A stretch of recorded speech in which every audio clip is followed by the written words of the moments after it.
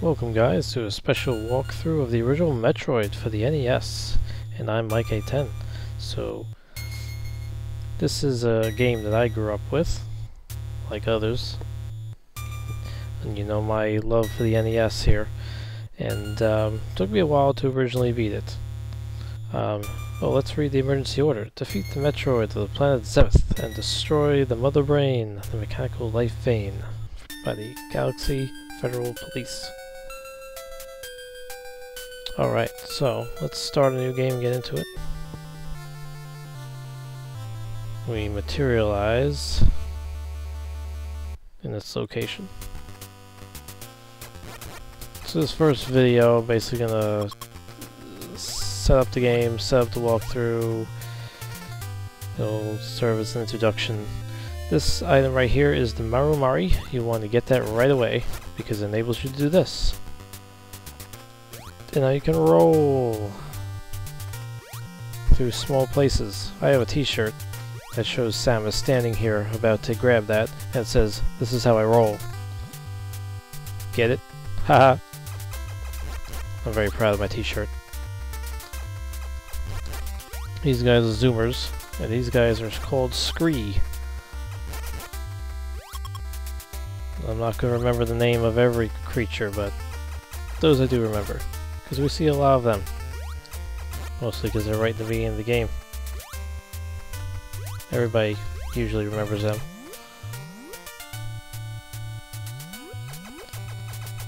So I don't uh, intend for this to be an extremely long walkthrough um, compared to others. We shouldn't have to do too many videos out of this because it really won't take all that long time-wise to complete the game, but what I will try and do is get as many of the power-ups as I can to show you, at least the important ones. Um, and I'll try to get all of the, uh, as many of the missiles as I can, because especially if you're new to the game, they will be very helpful to you towards the end. And uh, pretty much getting all the items will be helpful to you too. There will be a point where we have to make a weapon related decision, but that is much later on, and I will tell you about when we get there.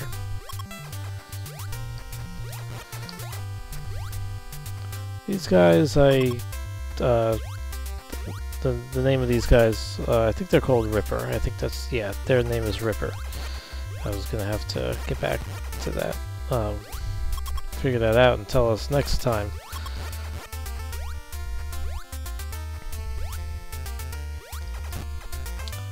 So basically the idea of this game, for a little background, if I may, uh, I usually like to give a little bit of background story, not that NES games provide you with that much, but at least not that much compared to later adaptations or later games made.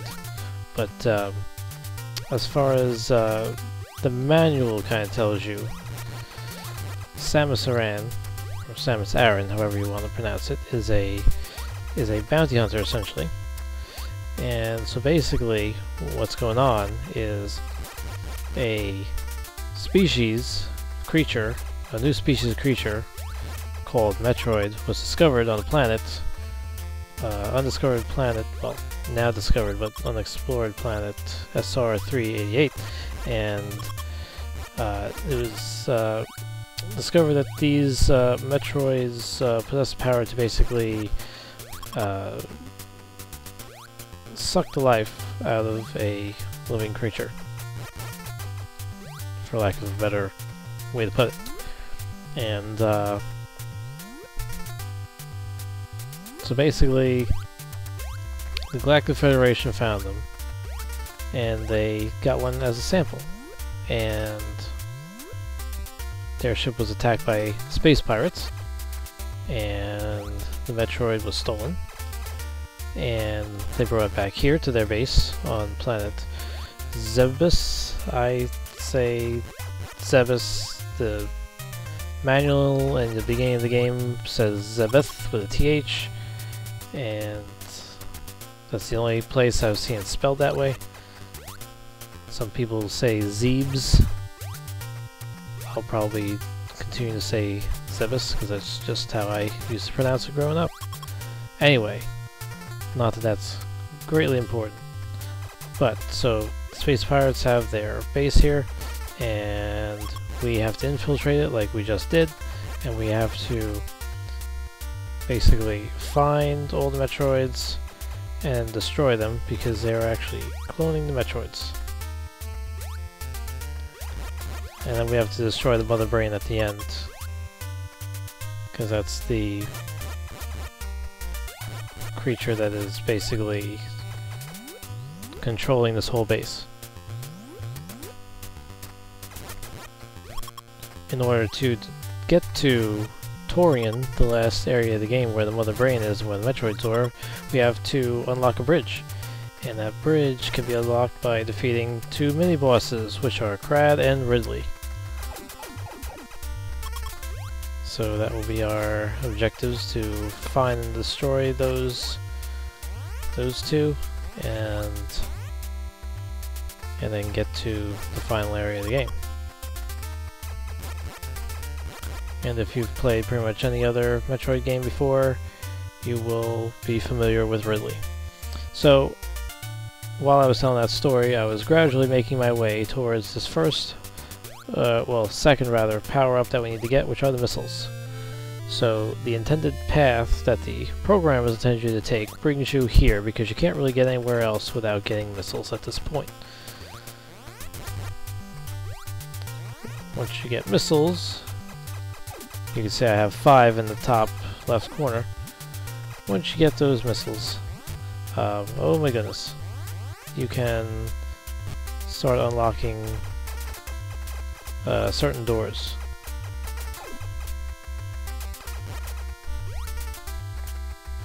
And I will show you those doors shortly.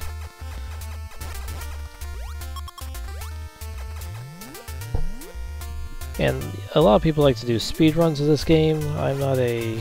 I'm not, I'm, I'm not gonna... I've done it before, but I'm not gonna do it here, because I uh, don't feel like rushing through everything. I'm gonna... I mean, uh, I'm gonna we're gonna get the most out of uh, this playthrough of this game without without uh, drawing it on too long. So I'm gonna try and get as many of the power-ups I can without making this an extremely long playthrough. I just feel, you know, we should do this game enough justice to not just blast through it like crazy. So I'm heading back up this way. And uh, the area of Zebes that we are in right now is called Brinstar. Each area has different names. Well, there's a few different names of places. Not too many. Not too many zones. Ooh! And I'm gonna go in here next. So you know, you see the music has changed, it's a different, uh, the scenery changes a little bit again. Got some of these uh, rather strong enemies. I'm not going to mess around with them too much.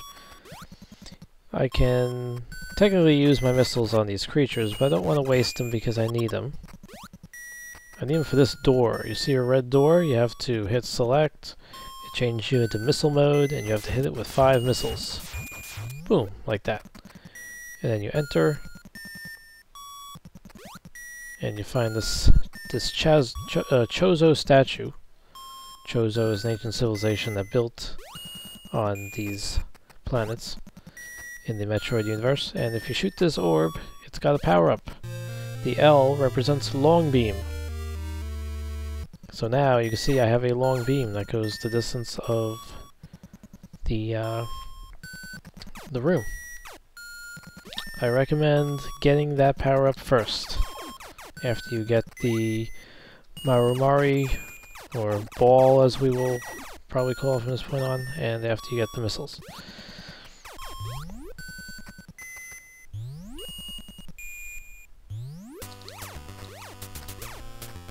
Okay, if you go up from here, you'll get to the entrance to Tourian. Um, but we're not going to go there just yet.